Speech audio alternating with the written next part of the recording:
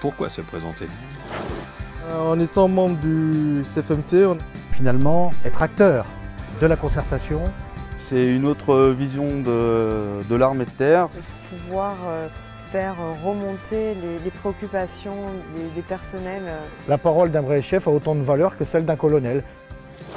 Une contribution à l'amélioration. toutes les fois où j'ai siégé, J'ai le sentiment d'avoir apporté une pierre à l'édifice. On a aussi la chance d'avoir des contacts assez privilégiés. on a l'occasion de discuter avec tout le monde, avec nos grands chefs. Tout le monde a droit à la parole. On peut euh, contribuer euh, à l'élaboration des projets de, de loi ainsi que des décrets.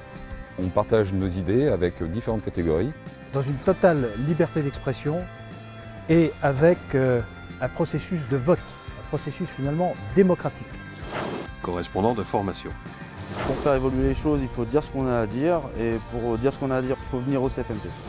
En janvier 2012, le CFMT renouvelle une partie de ses membres.